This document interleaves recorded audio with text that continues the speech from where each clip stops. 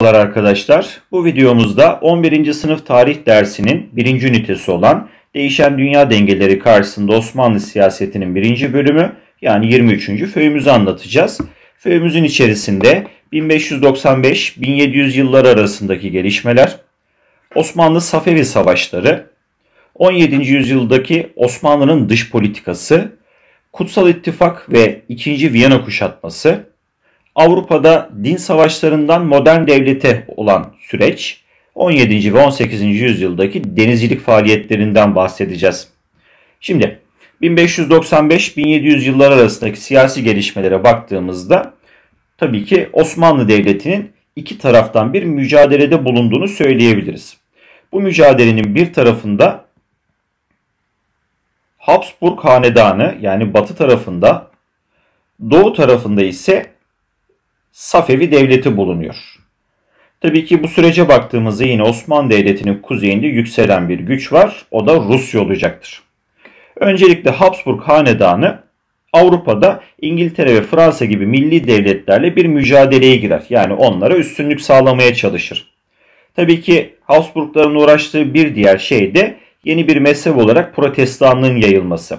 Yani bu da aslında reform hareketleri olarak adlandırılacaktır. Tabii ki bu gelişmeler Osmanlıların siyasi ve ekonomik ilişkilerinde belirleyici olacak e, ve Avrupa'daki bu mücadeleler Osmanlı Devleti'ni bir dönem rahatlatsa da daha sonrasında Osmanlı Habsburg mücadelesinin ortaya çıktığını söyleyebiliriz. Tabii ki doğudaki Safeviler de Osmanlı'nın doğu topraklarına hakim olmak için bir mücadeleye girecekler ve az önce de söylediğimiz gibi kuzeyde ortaya çıkan Rusya'da Osmanlı Devleti'nin siyasetinde belirleyici bir rol oynayacaktır.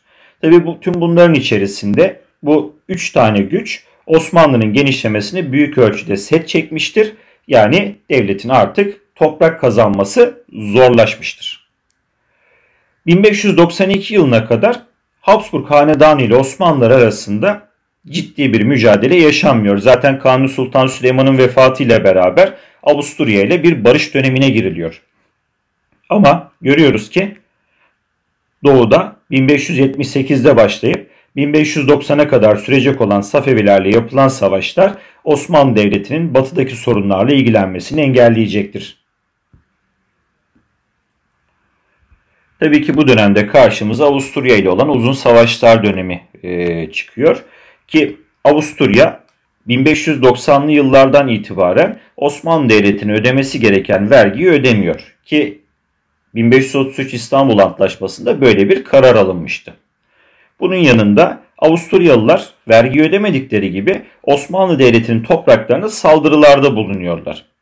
Ki bu saldırılar bir savaşa dönüşecek ve 1593 yılında başlayan savaş Karadeniz'den Hırvat topraklarına kadar ki geniş bir alana yayılacaktır. Tabi bu döneme baktığımızda Avusturya, Lehistan yani günümüzdeki Polonya'dır. Orta Avrupa devletidir. Erdel Prensliği, Eflak ve Boğdan Voyvodalıkları gibi devletler Osmanlı'ya karşı bir Haçlı ittifakı oluşturacaklardır. Yani Kanuni Sultan Süleyman döneminin etkileri geçmeye başlayınca Osmanlı'ya karşı Avrupa'dan yeni bir kalkışmanın e, gerçekleştiğini görüyoruz. Tabii ki bu saldırılar sonucunda Osmanlı Devleti Estergon Kalesi'ni kaybeder ve bunun üzerine Padişah 3. Mehmet Eğri seferine çıkarak Estergon Kalesi'ni fetheder ve 1596'da Haçova Meydan Savaşı'nda Avusturya ve Erdel'in oluşturduğu müttefik ordu mağlup edilir. Aslında Haçova Savaşı Osmanlı Devleti'nin batıda kazandığı son büyük meydan savaşı olacaktır. Bu savaşın bir diğer adı da tabii ki savaşın aslında Osmanlı tarafından kaybedildiğini gören Osmanlı Devleti'nin geri hizmet kıtalarının yani mutfak personelleri de dahil elindeki kazan, kepçe, kürekle düşmana saldırmasından dolayı kazan kepçe savaşı olarak da adlandırılacaktır. Haçova Savaşı'nda kesin bir sonuç alınamadığından dolayı taraflar arasında 10 yıl daha savaş devam eder ve tabii ki bu dönemde Osmanlı Devleti'nin doğu topraklarında bazı gelişmeler meydana gelir.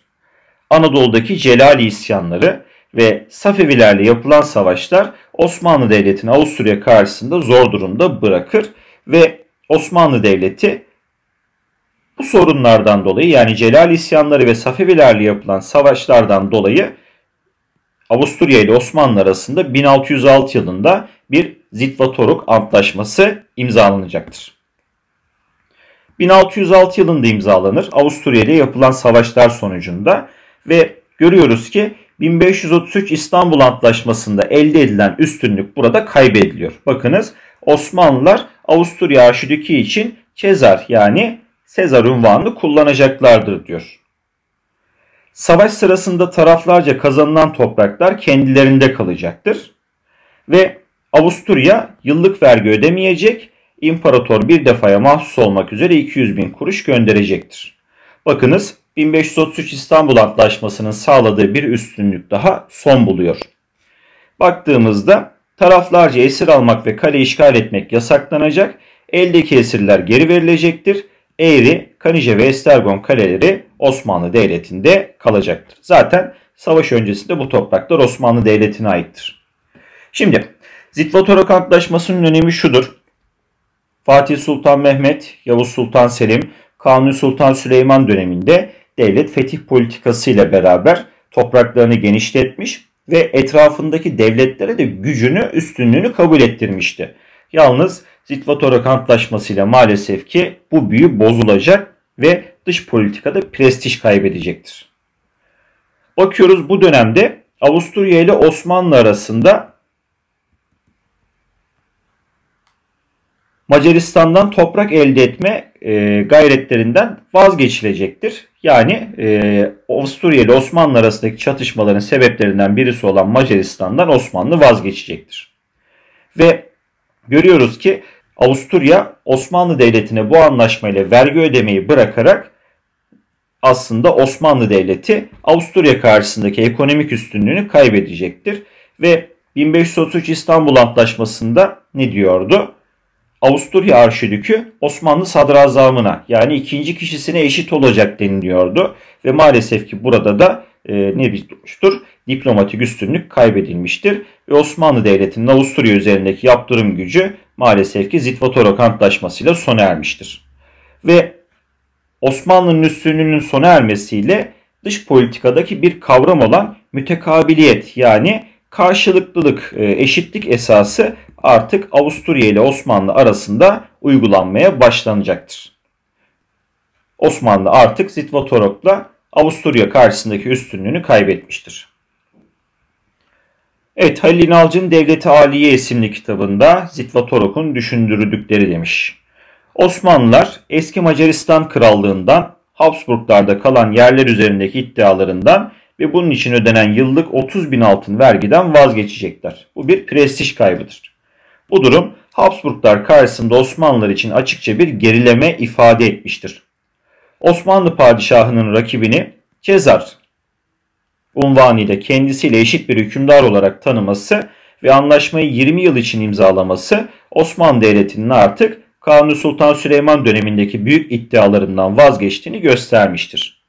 Uzun savaş yılları Osmanlı Devleti'nin Habsburglar karşısında askeri zaaflarını ortaya çıkarmıştır Yeni harp teknolojisini kullanan Avusturya askeri karşısında eski usul savaşan tımarlı sipahilerin yetersizliği ortaya çıkmıştır. Bununla birlikte Osmanlı hükümeti Anadolu'da tüfek kullanabilen Sekban askeri toplamak zorunda kalmıştır. Yani şunu söyleyebiliriz. Artık Osmanlı Devleti yavaş yavaş bu e, savaşlardan sonra ve Zitvatorok Antlaşması'ndan sonra Avrupa karşısındaki üstünlüğünü kaybetmiştir diyebiliriz. Tabii ki bu dönemdeki bir diğer savaşta Osmanlı Safevi savaşları olacaktır. 1578-1639 yıllar arasında. Safevilerle olan ilişkilerin geçmişine bakacak olursak e, Yavuz Sultan Selim döneminde bir doğu politikasının izlendiğini görüyoruz.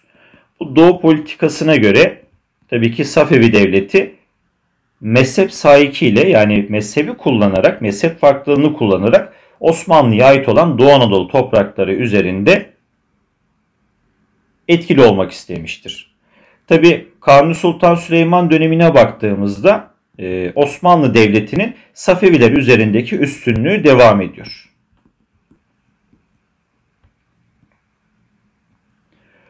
Ve baktığımızda 1555 Amasya Antlaşması ile iki devlet arasındaki barış süreci başlayacaktır. Tabii ki Safevilerin amacı Osmanlı Devleti'ne ait olan Doğu Anadolu topraklarını ele geçirmek ve Osmanlı üzerinde yıkıcı ve bölücü faaliyetleriyle e, ne yapacaktır? Osmanlı'yı aslında yıkmaya çalışacaktır. Baktığımızda Safevilerin bir e, amacı daha var. İpek yolu ticaretinde eline geçirmek istiyor. Bunun için de Osmanlı Devleti topraklarındaki yıkıcı ve bölücü faaliyetleri ve İran topraklarından geçen ticaret kervanlarını yağmalamaları üzerine savaşlar başlayacaktır ve bu savaşlar Ferhat Paşa Antlaşması ile sona erecektir. Ve bu anlaşmayla Tebriz, Karabağ, Dağıstan ve Şirvan gibi yerler Osmanlı Devleti'nin eline geçecektir. Baktığımızda Osmanlı Devleti bu anlaşmayla doğudaki en geniş sınırlarına ulaşacaktır ve Osmanlı'nın hakimiyeti Kafkaslara kadar genişleyecektir. Ki 16. ve 18. yüzyıllar arasında Osmanlı-Safevi ilişkilerinin kaderini jeopolitik, ekonomik ve dini faktörler belirleyecektir. Jeopolitik faktörlere baktığımızda tabii ki burada stratejik yerlerin ele geçirilmesi, e, bunların arasında Tebriz, Karabağ, Şirvan gibi yerler bulunmaktadır. E, ekonomik faktörlere baktığımızda Safevilerin İpek yolu ticaretine hakim olmak istemesi, dini faktörlere baktığımızda ise e, iki devlet arasındaki mezhepsel farklılıklar olacaktır. Tabii ki Osmanlı Devleti batıda Habsburg Hanedanı ile mücadele ediyor bu yıllarda. İçeride ise Celal isyanlarıyla uğraşıyor. İşte Safeviler de bunu fırsat bilerek Osmanlı Devleti'nin Amasya Antlaşması ile ele geçirdiği Şirvan, Azerbaycan ve Gürcistan'ı geri alması üzerine 1603 yılında iki devlet arasında savaş başlayacaktır ve 9 sene sonrasında iki devlet arasında bir Nasuh Paşa Antlaşması imzalanır. Bu antlaşması ile Ferhat Paşa Antlaşması ile aldığı yerleri İran Osmanlı'ya geri verecektir ve 1555 Amasya Antlaşması'ndaki sınırlara geri dönülecektir. Ve Safeviler Osmanlı Devleti'ne yıllık 200 deve yükü ipek ödemeyi kabul edeceklerdir. Tabi baktığımızda 3 sene sonrasında İran bu anlaşmanın şartlarına uymuyor ve bundan dolayı iki devlet arasında yeniden bir savaş başlıyor. İran Şahı Abbas'ın bu savaşlar sonrasında barış istemesi üzerine 1618 yılında Serav Antlaşması imzalanır ve bu anlaşmaya göre Nasuh Paşa Antlaşması'nda kabul edilen 200 deve yükü ipek 100 deve yüküne indirilir. Ve tabi Safeviler Osmanlı üzerindeki e, baskıyı artırma politikasından vazgeçmezler ve Anadolu topraklarında Şiilik mezhebi propagandası yaparak ve Bağdat'ı işgal ederek 1622-1639 yıllar arasında iki devlet arasında bir savaşın çıkmasına yeniden sebep olacaklar ve 1639 yılına geldiğimizde iki devlet arasında bir Kasr-ı Şirin Antlaşması imzalanacak ve Kasr-ı Şirin Antlaşması Zagros dağlarını Safevi ve Osmanlılar arasındaki sınır olarak kabul edecektir. Kasr-ı Antlaşması'nın aslında günümüze kadar gelen bir önemi bulunuyor. E, bugünkü Türkiye-İran sınırı büyük ölçüde e, bu anlaşmaya göre belirlenmiştir. Ve tabii ki 17. E, yüzyılın ilk yarısında Safevilerle girişilen bu mücadeleler tabii ki Osmanlı'nın askeri gücünü büyük ölçüde Doğu politikasına vermesine neden olmuştur. Ve tabii ki o dönemde Avrupa'da 30 yıl savaşları e, bulunacaktır. Ve Avrupa'nın e, içinde bulunduğu güçsüz durumda maalesef ki Osmanlı Devleti istifade edemeyecektir. E, Safevi Devleti ile yapılan mücadelelerden dolayı. 17. yüzyıldaki Osmanlı Devleti'nin dış politikasına yani diğer devletlerle olan ilişkilerine baktığımızda Avusturya tabii ki çok önemli bir yer tutuyor. Aslında Osmanlı Devleti ile Avusturya arasında 1606 yılında bir Zitvatorok Antlaşması imzalanmıştı.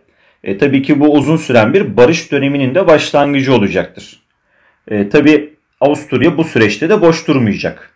Avusturya Osmanlı'ya ait olan Erdel, Eflak ve Boğdan beylerini Osmanlı Devleti'ne karşı kışkırtacak ve Zitvatorok Antlaşması'na aykırı olarak sınırda bulunan Zerinvar Kalesi'ni inşa edecektir.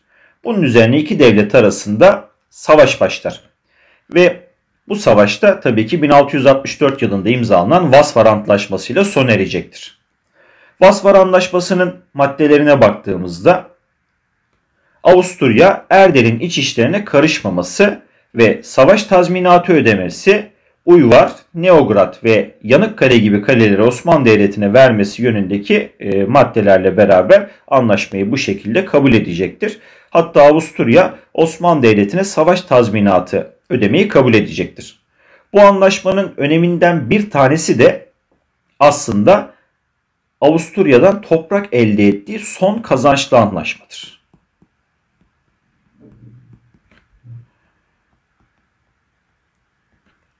Tabi bu olaylar üzerine başlayan savaş çok zor şartlara rağmen en küçük bir yılgınlık göstermeden büyük bir azim ve sebatla 38. gününde kaleyi fethetmelerinden dolayı Avrupalılar Uyvar önünde bir Türk gibi kuvvetli deyimini tarihe mal edeceklerdir.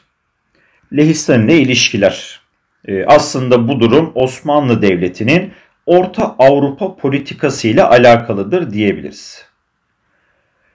Tabii ki Lehistan ile ilişkilerimiz Fatih Sultan Mehmet döneminde başlar. Osmanlı Devleti Kırım ve Boğdan topraklarını fethedince Osmanlı Devleti Lehistan ile komşu olur. Fakat baktığımızda Lehistan ile Osmanlı ilişkilerinin bozulmasında Kırım Hanı'nın Lehistan topraklarına seferler yapması ve Lehistan denetimindeki Kazakların Osmanlı sahillerini vurması ve Lehistan'ın Eflak ile Boğdan'daki Osmanlı egemenliğine karşı çıkması gibi bazı girişimler e, savaşın çıkmasında etkili olacaktır. Tabi bu süreçte Hotin işgal edilir ve Kanuni Sultan Süleyman dönemindeki gücünü göstermek isteyen Padişah II. Osman Lehistan üzerine sefere çıkar ve Hotin kalesini kuşatır. Tabii ki burada bir sıkıntı olacaktır arkadaşlar. Baktığımızda Yeniçerilerin disiplinsiz hareketleri ve II. Osman'ın Yeniçerilere güvenmeyerek bizzat yoklamalar alması tabii ki kalenin alınamamasında etkili olacaktır. Ve Lehistan'ın isteği üzerine de iki devlet arasında bir Hotin Antlaşması imzalanır 1621 yılında. Ve baktığımızda anlaşmanın maddelerinde Hotin Kalesi Osmanlı Devleti'ne verilecek. Yani Lehistan işgal ettiği bir kaleyi Osmanlı'ya geri veriyor. Lehistan Kırım Hanlığı'na senelik vergi vermeye devam edecek. Aslında bu Osmanlı'nın e, Lehistan üzerinde etkili olduğunu kanıtlamaktadır. Tabii ki 1668 yılında Lehistan'ın Ukrayna'yı işgal etmesi üzerine Padişah 4. Mehmet Lehistan üzerine sefere çıkar ve Kamaniçe Kalesi'ni fetheder ve Podolya'ya da hakim olur. Bu mücadelelerin sonucunda Lehistan ile 1672 yılında Bucaş ve 1676'daki Zorovna antlaşmalarıyla Podolya ile Kamaniçe Osmanlı Devleti'ne, Ukrayna ise Osmanlı himayesindeki Kazaklara bırakılır. Aslında Bucaş Antlaşması'nın önemi Osmanlı Devleti batıdaki en geniş sınırlarına e, bu antlaşmayla ulaşmıştır diyebiliriz. Bu dönem Osmanlı'nın Rusya ile olan ilişkilerine baktığımızda Rusya'nın artık Osmanlı Devleti'nin dış politikasında e, önemli bir rol oynamaya başladığını görmekteyiz. Tabii ki Osmanlı himayesindeki Ukrayna'yı yöneten Kazak Bey'inin Rusya ile yakın ilişkiler kurması üzerine Osmanlı Devleti Çehrin seferine çıkar. Tabi Kazakların eline geçen Çehrin Kalesi 1678 yılında tekrardan fethedilir ve yardıma gelen Rus kuvvetlerince ağır kayıplar verdirilmişse de kesin olarak mağlup edilememesi üzerine 1680'de 4. Mehmet bizzat sefere çıkar ve bu sefer sonucunda Rusların isteği üzerine bir Çehrin Antlaşması imzalanır. Aynı zamanda Bahçesaray Antlaşması olarak da adlandırılır. Antlaşmaya göre Özü Nehri her iki devlet arasında sınır olacak. Rusya Kırım'a vergi vermeye devam edecek. Kiev dahil Ukrayna'nın kuzeyi Ruslara bırakılacak. Dinyeper'in sağ tarafı ve Çehrin Osmanlı'da kalacak. Anlaşmanın önemi şudur. Çehrin Antlaşması Osmanlı Devleti'nin Rusya ile imzaladığı ilk resmi anlaşma olacaktır. Şimdi bu anlaşmaya göre Ruslar her ne kadar e, Osmanlı'ya vergi verir durumda olsa da ya da e, farklı antlaşmalarla Lehistan, Kırım üzerinden Osmanlı'ya vergi verir durumda olsa da bakalım bu dış politikadaki tablo değişecek mi? Evet, genç Osman Kendisi çocuk yaşta tahta geçer. E, Tabi o dönemde de Avrupa'da 30 yıl savaşları yaşanmaktadır. Yani Avrupa'nın kendi iç karışıklıkları bulunmaktadır. İşte bu süreçte Avrupa'daki durumu gören genç Osman Lehistan üzerine bir sefere çıkar. E, yalnız e, bu sefer sırasında Yeniçerilerin disiplinsizliklerini ve e, savaşma konusundaki isteksizliklerini görür ki burada askerlere padişahın az bahşiş vermesi ve ulemanın yani ilmiye sınıfının arpalıklarının kesilmesi gibi sebeplerden dolayı kapı kulları savaşta ağır davranırlar. Tabii ki bu Osmanlı Devleti'nin yaşanan savaşta Lehistan'a karşı başarılı olamamasında, üstünlük sağlayamamasında etkili olacaktır. Ve tabii ki Lehistan'ın Osmanlı Devleti'ne e, barış teklifinde bulunması üzerine Hotin Kalesi Osmanlı Devleti'ne bırakılır. Ama genç Osman bu sefer sırasında bir karar alır. Aslında Kapıkulu ocaklarını yani Yeniçeri ocaklarını kaldıracaktır ve Anadolu'ya geçerek Anadolu'da e, Türkmenlerden oluşan yeni bir ordu kurmaya çalışacaktır. Tabi Genç Osman'ın yaptığı bazı işler İstanbul'da bulunan çevrelerce olumsuz karşılanır ve bu çevrelerin Yeniçerileri kışkırtması üzerine çıkan isyanla padişah tahttan indirilir ve kapı kulları tarafından yani Yeniçeri askerleri tarafından Yedikule zindanlarında boğdurularak öldürülür. Osmanlı Devleti'nin bu süreçteki Venedik ile olan ilişkilerine baktığımızda Venedik her ne kadar çok etkili bir devletmiş gibi ya da büyük bir devletmiş gibi görünmese de e, Osmanlı'nın Avrupa ile olan ilişkilerinde denge kuran bir devlet konumundadır. Venedik ile olan asıl hakimiyet sahası Osmanlı Devleti'nin Akdeniz'e hakim olmasıdır. Yani burada denizler üzerine Venedik'te bir hakimiyet mücadelesi bulunuyor. Tabi bu Kanuni Sultan Süleyman döneminden beri Akdeniz'de e, kurulan Osmanlı hakimiyetinin Venedik'i rahatsız etmesi, Venedikli korsanların Girit adasını üs olarak kullanması ve Osmanlı ticaret gemilerine saldırması ayrıca Doğu Akdeniz ve Kuzey Afrika kıyılarının güvenliğini tehdit eden Girit'in alınması gerektiğini ortaya koyacaktır. Ve baktığımızda Venedik bir taraftan Hristiyan Avrupa ile Osmanlı Devleti'ne karşı yoğun bir diplomasi faaliyetine başlayacaktır ve Osmanlı Devleti'ni zor durumda bırakmak amacıyla Ege adalarına saldırarak Çanakkale Boğazı'nı abluk altına alacaktır. Venedik'in sürekli Osmanlı Devleti üzerine seferler düzenlemesi Girit adasının tam anlamıyla kuşatılmasını engelleyecektir. Yani aslında Girit adasının Venedik'ten alınması Osmanlı Devleti'ni e, bu bölgede baya bir rahatlatacaktır. İşte bunun üzerine Sadrazam Köprülü Mehmet Paşa Çanakkale ablukasının kaldırılması için bir mücadeleye girişecektir ve e, bunda başarılı olacaktır. Hatta baktığımızda Venedik bu mücadeleler sırasında Osmanlı'ya karşı İspanya, Fransa, bunun yanında papalık ve Malta şövalyelerinden de destek alacaktır. Tabii ki Girit adasının alınması gerekliliğinin ortaya çıkmasıyla beraber 1645'te ada kuşatılacaktır ve 1669'da Girit adasının fethiyle kuşatma sonuçlanacaktır. Bakıyoruz ki Girit Osmanlı donanmasının Akdeniz'de fethettiği son ada olacaktır. Ve bakınız ki kuşatma tam 24 yıl sürüyor. Bu da Osmanlı Devleti'nin artık denizlerde de eski gücünde olmadığını kanıtlayacaktır. Ama baktığımızda burada avantajlı bir durum söz konusu. Tabi kuşatma 24 yıl sürebilir.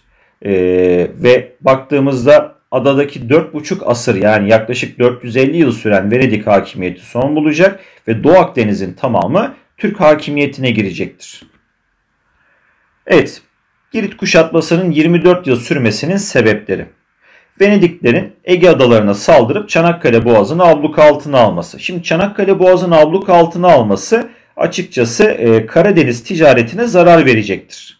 Venedik'in sürekli Osmanlı Devleti üzerine seferler düzenlemesi. Yine Osmanlı'nın gemicilik alanındaki gelişmeleri takip edememesi ve e, e denizcilik teknolojisi alanında Venediklerin gerisinde kalması ve Osmanlı donanmasının Kanuni Sultan Süleyman dönemindeki gücünde olmaması ve yine Osmanlı kadırgalarının yani kürekli gemilerinin Venedik kalyonlarına yani yelkenli gemilerine karşı çaresiz kalması kuşatmanın uzamasında etkili olacaktır. Ve tabii ki şunu da söyleyebiliriz. Bu 24 senelik kuşatma sonunda Girit'e hakim olunur. Fakat bu uzun kuşatma sırasında Venedik karşı hamle yaparak tabi Çanakkale Boğazı'nı kapatıyor.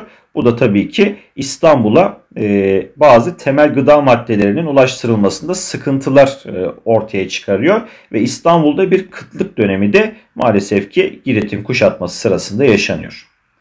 Malta ile ilişkiler. Şimdi Malta'ya baktığımızda 17. yüzyılda hem Osmanlı Devleti'nin karşısında olan denizci güçlerin yanında hem de 2. Viyana kuşatmasından sonra oluşturulan Kutsal İttifak'ın içerisinde yer alacaktır. Ee, tabii ki Malta'da bulunan şövalyelerin aslında daha öncesinde e, Ege Denizi'nde bulunan korsanlar olduğunu düşünürsek Osmanlı'ya karşı çok da dostane yaklaşacaklarını söyleyemeyiz. Kutsal İttifak Osmanlılara karşı tabii ki bu 2. Viyana kuşatmasının başarısızlığının sonucunda gerçekleşecektir. Şimdi bu sürece baktığımızda Osmanlı Padişahı 4. Mehmet Köprülüler yani e, vezirlik yapan aile dönemiyle iç huzurun sağlanması üzerine tekrar fetih ve genişleme sürecini başlatacaktır. Sadrazamlar Köprülü Ahmet Paşa ve Merzifonlu Kara Mustafa Paşa dönemlerinde Osmanlı Devleti'ni Kanuni dönemindeki gibi güçlü bir hale getirmek için Girit, Erdel, Lehistan ve Rusya meselelerini halledeceklerdir. Tabii ki bu süreçte e, Habsburg kralı yani Avusturya kralı Leopold'un Orta Macaristan protestanlarını baskı altına alması ve mezhep değiştirmeye zorlaması üzerine protestan Macar beyi İmre Tökeli Osmanlı'dan yardım isteyecektir. Bunu fırsat bilen Merzifonlu Kara Mustafa Paşa Avusturya üzerine sefere çıkılması gerektiğini 4. Mehmet'e kabul ettirir ve Avusturya Kralı Leopold Osmanlı'ya elçi göndererek padişahı seferden vazgeçirmeye çalışır. Fakat Merzifonlu Kara Mustafa Paşa padişahı ikna ederek Avusturya'ya sefere çıkar ve 1683 yılında Viyana ikinci defa kuşatılır. Evet aslında şöyle diyebiliriz. İkinci Viyana kuşatmasının sebepleri arasında Tökeli İmre'nin Osmanlı'dan yardım istemesi mezhep baskısı üzerine ve yine baktığımızda bir etkenimiz daha var. Fransız kralı 14. Louis'in en büyük rakibi olan Avusturya'ya karşı Osmanlı Devleti'ni kışkırtması ve Merzifonlu Kara Mustafa Paşa'nın Osmanlı Devleti'ni eski şaşalı yani güçlü günlerine döndürme istiyor olacaktır. Ve Orta Avrupa'da Avusturya'nın gücünün kırılmak istenmesi de etkili olacaktır. Baktığımızda 1683 yılında gerçekleşen 2. Viyana kuşatmasında bazı komutanların Sadrazam Merzifonlu Kara Mustafa Paşa'ya tam destek vermemesi nedeniyle Viyana önlerinde Osmanlı ordusu maalesef ki Avusturya karşısında başarısızlığa uğrar. Aslında burada başarısızlığa uğramasında bir diğer sebep de Avusturya kralının Papa'nın teşvikiyle Alman, Fransız, bunun yanında lehlerden oluşan bir haç ordusu kurması da etkili olacaktır. İkinci Viyana kuşatmasının nedenine baktığımızda, İkinci Viyana kuşatmasının sonuçlarına baktığımızda Osmanlı Devleti'nin aleyhine Avusturya, zaten Akdeniz konusundan dolayı Osmanlı ile çatışma yaşayan Venedik, Orta Avrupa politikası konusunda Osmanlı ile çatışan Lehistan, yine tabii ki Osmanlı'ya karşı kini olan Malta ve Rusya arasında bir kutsal ittifak kurulacaktır. Yani Osmanlı'ya karşı bir Haçlı zihniyetinin tekrardan ortaya çıktığını söyleyebiliriz. 1683'teki mağlubiyetle Köprülü Mehmet Paşa ile birlikte kurulan huzur ortamı sona erecektir. Yani Osmanlı Devleti eski şaşalı günlerine dönmek isterken olumsuz bir durumla karşılaşacaktır. Ki Balkan eyaletleri ve başkent İstanbul'da ilk anda kargaşa, ekonomik buhran, eşkıyalık ve ayaklanmalar baş gösterecektir. Bakınız Osmanlı'da iç problemlere de neden olacaktır bu durum.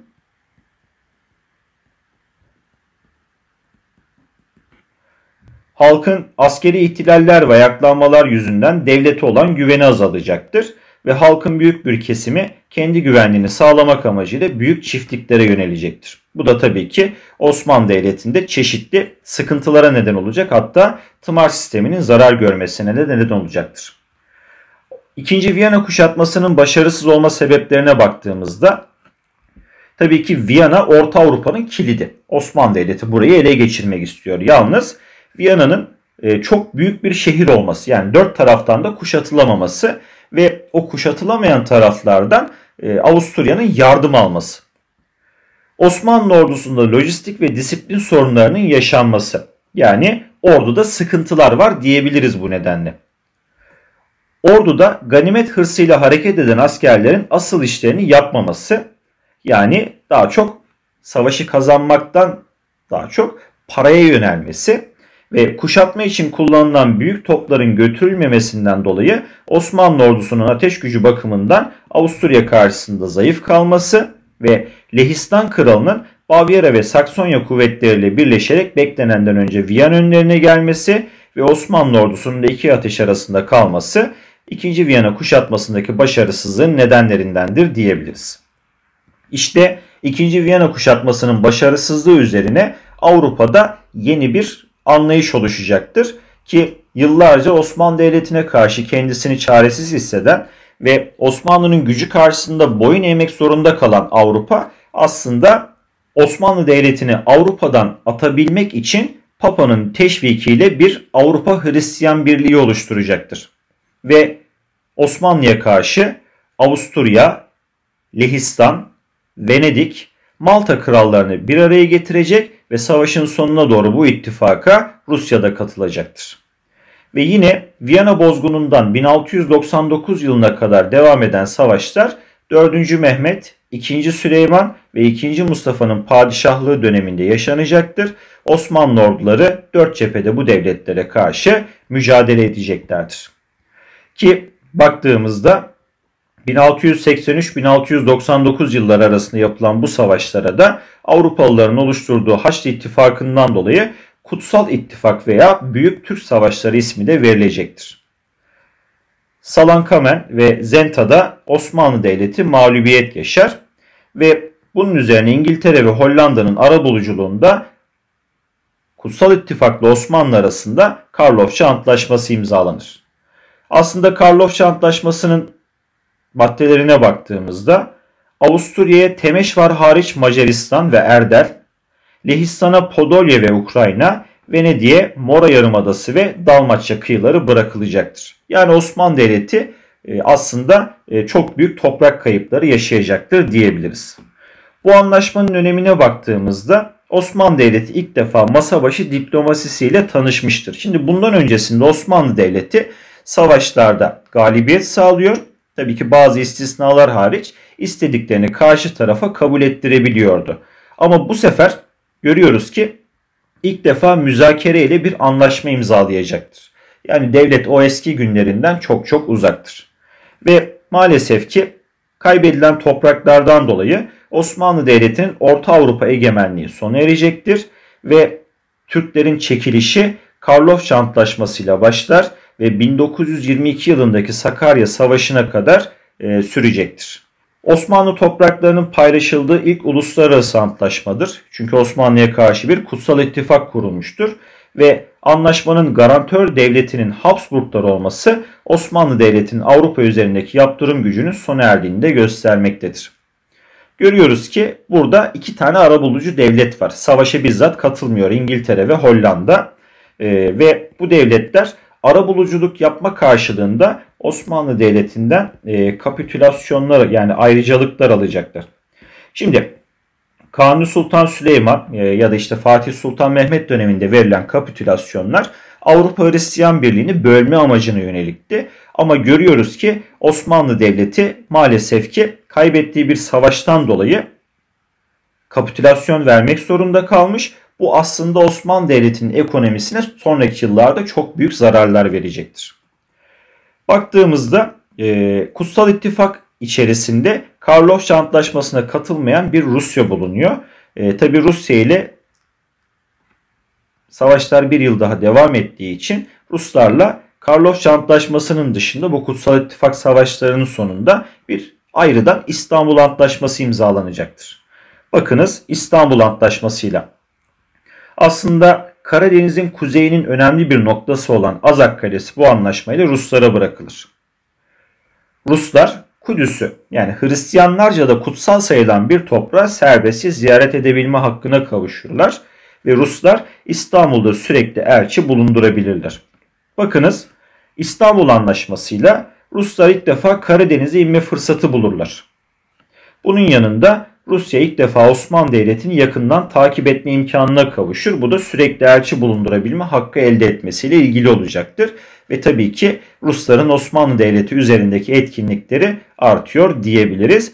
Ki Bahçesaray Anlaşması ile ilk anlaşma imzalanmıştır Ruslarla. Bakıyoruz ki Rusların Osmanlı üzerindeki baskısının ve etkisinin arttığı da açıkça görülmekte. Karlofça Anlaşması sonrası dış siyasete baktığımızda artık Osmanlı Devleti Avrupalılar için bir tehlike ve tehdit olmaktan çıkacaktır. Ki anlaşmadan sonra Osmanlı Devleti İngiltere, Hollanda ve Fransa gibi devletlerin siyasetlerinin etkisinde kalmaya başlayacak. Yani tek başına Avrupalılarla mücadele edebilecek gücü kaybetmiştir. Ve Osmanlı Devleti de Avusturya, Lehistan, Rusya ve Venedik ile olan mücadelesinde Fransa dışında başka devletlerle de işbirliği yapmanın gerekliliğini görecektir. Ki artık dış politikada Osmanlı Devleti tek başına hareket edemeyeceğini, çeşitli ittifaklara yönelerek kendisine karşı olan tehditleri bu şekilde bertaraf etmeye çalışacaktır. Ki Fransa'ya baktığımızda Karlofça Anlaşması'ndan sonra e, Osmanlı Devleti'nin gözündeki itibarını kaybetmeye başlayacaktır. Çünkü Fransa burada ikili oynuyor. Hem Osmanlı Devleti'nden taviz koparmaya çalışıyor. Aynı zamanda alttan alta da Kutsal İttifakı destekliyor diyebiliriz. İşte bundan dolayı Osmanlı Devleti e, Avrupa'da Fransa'yı bir denge unsuru olarak görmektense ne yapacaktır? Prusya'ya yaklaşmak isteyecektir. Karlofça Osmanlı Devleti'nde çok büyük değişikliklere neden olacak. E, çünkü çok ağır bir yenilgi alınmış, e, ağır anlaşmalar imzalanmış. E, yani devlet artık eskisi kadar güçlü olamadığını burada kabul etmek zorunda kalmıştır. Burada e, bürokratik unsurlar, e, askeri unsurlara göre daha fazla ön plana çıkacak. Bakınız ki aslında Nişancının emrinde çalışan Reisül Küttab dışişlerinden sorumlu divan üyesi e, Mehmet Rafi Efendi'nin hemen Karlofça'dan sonra sadrazamlığa getirilmesi bunun bir göstergesi olacaktır. Bakıyoruz ki Osmanlı Devleti burada bir ders alıyor. E, Kutsal İttifak savaşları sonucunda e, bakıyor ki mevcut duruma göre dönemin durum ve şartlarını menfaatleri doğrultusunda gözeterek konjektürel ittifaklar kuracaktır. Yani çıkarlarına göre bugün dost olduğu bir devlette yarın düşman olacak ya da düşman olduğu bir devlete karşı farklı devletlerle ittifaklara girerek e, onun üzerinde uygulamaya çalıştığı planları bozmaya çalışacaktır. Konjektürel ittifak nedir? Bir devletin içinde bulunduğu dönemin durum ve şartlarını menfaatleri doğrultusunda değerlendirerek kurduğu dostluk ilişkileridir. Yani düşman olduğu bir devletle çıkarları uyuşuyorsa dost olabilir. Dost olduğu bir devlette çıkarları çatışıyorsa onunla düşman olabilir. Ki Osmanlı Devleti'nin Karlofça'da kaybettiği toprakları geri alma düşüncesi 1718 Pasarofça Anlaşması'na kadar devam edecektir. Zaten Pasarofça'dan sonra e, topraklarını koruma politikasına yönelecektir. Avrupa'da din savaşlarından modern devlete. Augsburg Antlaşması 1555 yılında imzalanır. Şimdi Avrupa'da gerçekleşen reform hareketleri tabii ki yeni bir mezhebi ortaya çıkaracaktır. Protestanlık ve e, bu mezhep aslında Alman İmparatorluğu tarafından tehdit olarak algılanacaktır. İşte bunun üzerine Katoliklik yanlısı Alman İmparatoru ile Protestanlık yanlısı e, Alman prensleri arasında 25 yıl süren bir savaş yaşanır. Ve bu savaşın sonucunda da 1555 yılında Augsburg Antlaşması imzalanır. Tabi bu anlaşma ile Alman İmparatoru Protestanlık mezhebi e, ve kilisesini Almanya'da resmen tanır ve e, Almanya'daki prenslere istediği mezhebi seçme hakkı e, Augsburg Antlaşması ile verilir. Baktığımızda bu anlaşma ile biri Protestan, diğeri Katolik olmak üzere iki tane Almanya ortaya çıkacaktır. Tabi daha sonraki süreçte iki mezhep yani protestanlık ve katoliklik arasında 30 yıl savaşları çıkacaktır. Bakınız Katolik İspanya'nın Hollanda'yı işgal edip Batı Avrupa'da yayılmacı bir politika takip etmesi 30 yıl savaşlarının sebeplerindendir.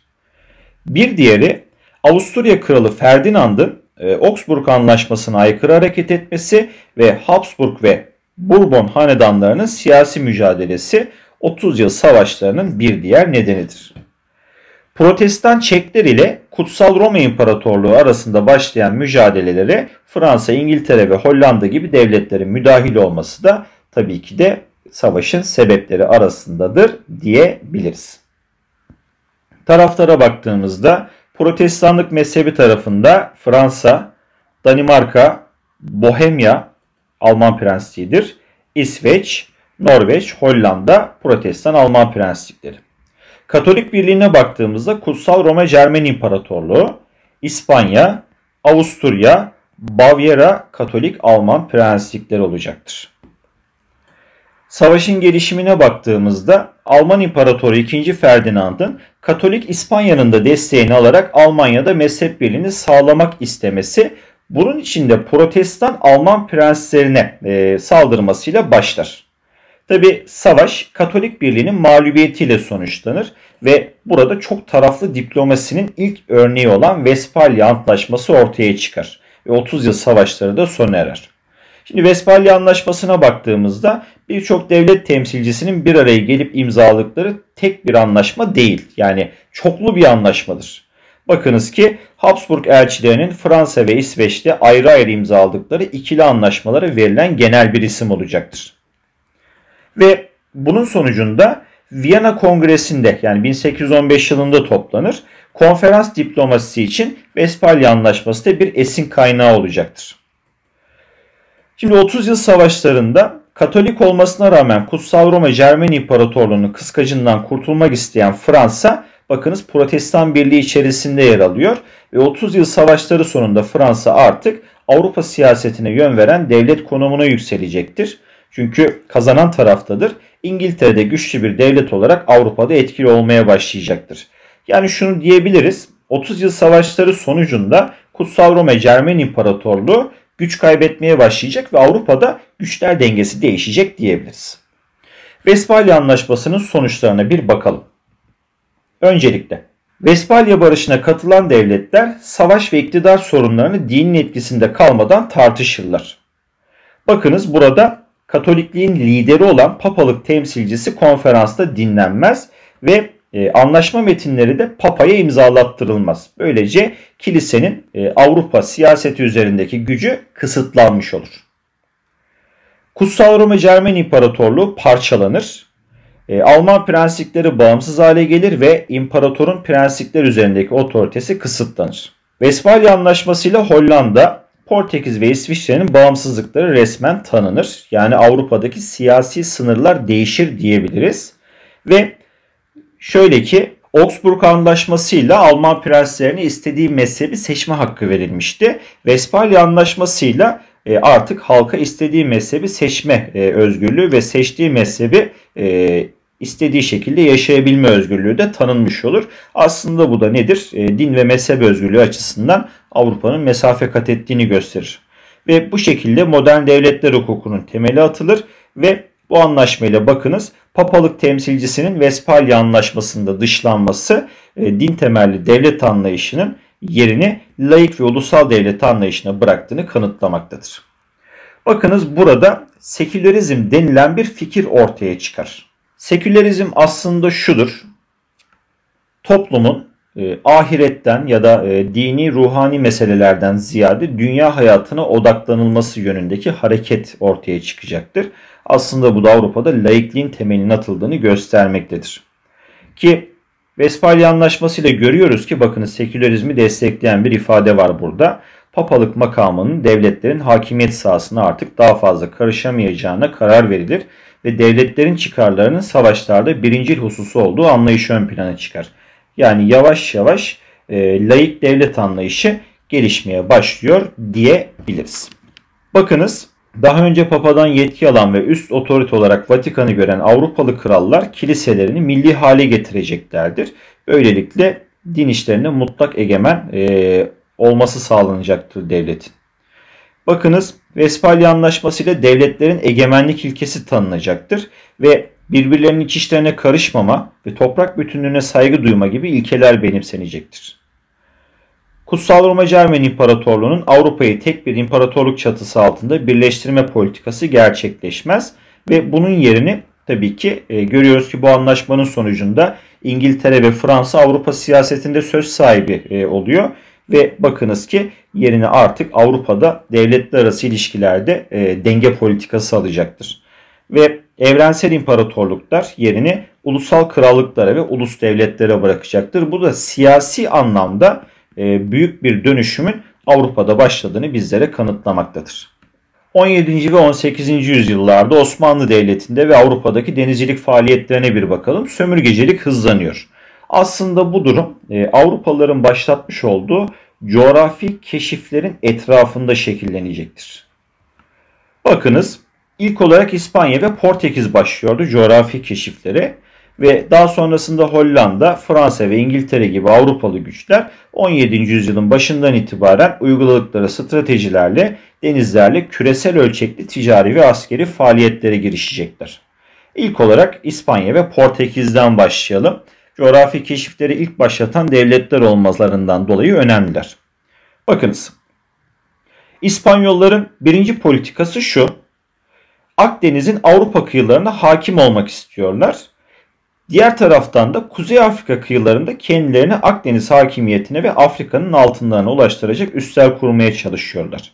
Şimdi bu e, Afrika politikası üzerine tabii ki İspanyolların Osmanlı Devleti ile çatışması kaçınılmaz. Tabi İspanya ve Portekiz aralarında Alcaçovaz Antlaşması ile keşifler dünyası da e, bu iki güç arasında Papa'nın manevi girişimiyle paylaşılacaktır. Tabi İspanya ve Portekiz coğrafi keşiflerden sonra aslında sömürge imparatorlukları kuracak. E, ama baktığımızda bu işi devam ettiremeyecekler. E, bu sömürge imparatorlukları zamanla İngiltere ve Hollanda'nın eline geçecektir. Yani e, artık dünyanın papaların aracılığıyla İspanya ve Portekiz arasında bölüşüldüğü devirler ve anlaşmalar geçerliklerini kaybedecek ve dünyanın yeniden paylaşılması sorunu ortaya çıkacaktır görüyoruz ki e, özellikle İspanya ve Portekiz coğrafi keşiflerle başlayan üstünlüklerini devam ettirememişler. Bunu İngiltere ve Hollanda'ya e, terk etmişler. Şimdi Fransa'ya baktığımızda ilk sömürgeleri Güney ve Kuzey Amerika'daki Karayip Denizi ve adaları olacaktır. Şimdi adalar hem İspanyol Orta Amerika'sına bir giriş kapısı hem de zengin şeker kamışı ürünlerine sahiptir. Şimdi Fransa aynı zamanda sömürgeci ülkeler arasında ilk defa Afrika kıtasına yönelen ülke olacaktır. Hatta 7 yıl savaşları sonunda Hindistan ve Amerika kıtasındaki sömürgelerinin büyük bir kısmını İngiltere'ye kaptıracaktır Fransa. İngiltere'ye baktığımızda 16. yüzyıl sonunda ağır bir mağlubiyete uğrayacaktır İspanya. İngiltere karşısında ve İngiltere İspanya'nın denizlerdeki hakimiyetine son verecek e, tabii ki bir ada devleti olması denizcilik alanında ilerlemesini sağlayacaktır. Bu şekilde e, dünya ticaretine açılan İngiltere 17. yüzyılda İngiliz Doğu Hindistan şirketini kuracaktır. Ve İngiliz sömürgeciliğinin ilk temelleri atılacaktır. Hatta e, kıta Avrupa'sında takip ettiği denge politikası sayesinde bir taraftan Avrupa'nın hakemi konumuna yükselecek. Diğer taraftan da mali, parasal yönden Avrupa devletlerinin finans kaynağı haline gelecektir. Yani bu sömürgecilik politikası sayesinde İngiltere e, ciddi bir maddi güç elde edecek ve diğer Avrupalı devletler üzerinde de etki sahibi olacaktır. Hollanda'ya baktığımızda 17. yüzyılın ortalarına doğru dünyanın en büyük deniz ticaret filosuna sahip olacak ve dünyanın her tarafıyla ticaret yapmaya başlayacak. Tabi 17. yüzyıl sonlarında bu sömürgelerin paylaşılması ile alakalı bir İngiltere-Hollanda savaşı yaşanır ve bu savaşlar sonunda Hollanda e, bazı kolonilerini yani sömürgelerini İngilizlere kaptırır ve Hollanda'nın okyanuslardaki gücü zayıflar. Yani görüyoruz ki Hollanda'nın önünü kesen de İngiltere olacaktır bu konuda. Şimdi bu süreçte Osmanlı Devleti ne yapıyor? Osmanlı denizciliğinde iki tane dönem bulunuyor. Şimdi birinci dönem devletin kuruluşundan yani kuruluş döneminden 17. yüzyıl sonlarına kadar devam eden kürekli gemiler yani kadırgalar olacaktır. İkinci dönemi de 19. yüzyılın ortalarına kadar süren yelkenli gemiler dönemi olacaktır. Yani kalyon dönemi. Tabi kadırgalardan kalyona geçişte Girit kuşatması çok önemli bir rol oynayacaktır. E, Venedik'in kalyonları e, Osmanlı Devleti'ni maalesef ki bu konuda çaresiz bırakacak ve görüyoruz ki çok uzun süren yani yaklaşık 24 yıl süren bir kuşatma olacaktır e, Girit Adası konusunda. İşte bunun üzerine Osmanlı Devleti kadırgaları bırakarak, kürekli gemileri bırakarak kalyon yani yelkenli gemilere geçiş sürecini başlatacak. Ve görüyoruz ki Girit seferiyle Osmanlı gemi teknolojisindeki değişim ve donanma stratejisinde önemli bir dönüm noktası olur. Tabi 1682 yılından sonraki süreçte kalyon üretimi için tersanelerde sistemli çalışmalar başlatılır ve Bahriye Kanunnamesi ile yani denizcilik kanunnamesi ile e, kalyon üretimine hız verilerek kalyonlar ebat olarak büyütülür ve geliştirilir. Şimdi Osmanlı Devleti Kanuni döneminde e, Akdeniz'de tabii ki önemli bir güç olmuş ve e, Akdeniz'i Türk Gölü haline getirmişti. Ege Denizi, Marmara Denizi ve Karadeniz hakimiyetini saymıyorum bile. Ama baktığımızda Kanuni Sultan Süleyman döneminden sonra Osmanlı Devleti'nin denizlerdeki egemenliği de e, maalesef işte kara ordularında olduğu gibi zayıflama sürecine giriyor. Bunun nedeni Batı gemiciliğindeki teknolojik gelişmelerin takip edilememesi. Şimdi Avrupalılar coğrafi keşiflerle gemicilik sanatında e, çok ileri gidecekler. Osmanlı bunu takip edemeyecek. Çünkü Avrupalıların keşiflerle beraber okyanusların ağır şartlarına dayanıklı gemiler üretmeleri gerekecektir. Tabi bunda da bir ilerleme kaydedecekler. İkincisi coğrafi keşiflerle birlikte dünya ticareti okyanuslara kayıyor. Yani e, Akdeniz ticaretinin e, bunun yanında şunu da söyleyebiliriz. İpek ve baharat yolu ticaretinin bir süre sonra e, okyanuslara kaydığını göreceğiz. Bu da tabii ki Osmanlı Devleti'nin mali gelirlerinin düşmesinde etkili olacaktır. Ve dünya ve Avrupa ekonomisi için e, öneme sahip olan ticaret yollarının Avrupalı devletlerin eline geçmesi ve Osmanlı Devleti'nin ticari ve siyasi ekonomik olarak da Avrupa karşısında güç kaybetmesi. Yani İpek ve baharat yollarının işlevini yitirmesi de denizlerdeki egemenliğin zayıflamasında etkili olacaktır. Tabi Osmanlı Devleti bunu telafi etmek için Avrupalı devletlere kapitülasyonlar, ayrıcalıklar vermeye başlayacak. Tabii ki bu kapitülasyonlar Fatih Sultan Mehmet ve Kanuni Sultan Süleyman dönemindeki kapitülasyonlara benzemeyecek ve bir süre sonra Avrupalı devletler bu ayrıcalıklardan dolayı e, Osmanlı'nın kendi tüccarlarından daha avantajlı hale gelecekler ve e, görüyoruz Akdeniz ve Karadeniz'deki ticaret yabancı devletlerin eline geçecektir. Yani Osmanlı kaş yapayım derken göz çıkaracaktır bu konuda. Görüyoruz ki izinli korsanlara karşı gerekli yaptırımın uygulanmaması da e, denizlerdeki egemenliğin zayıflamasında etkili olacaktır. Değerli arkadaşlar videomuzun sonuna gelmiş bulunmaktayız. Bir sonraki konu anlatımımızda görüşmek üzere. Hoşçakalın.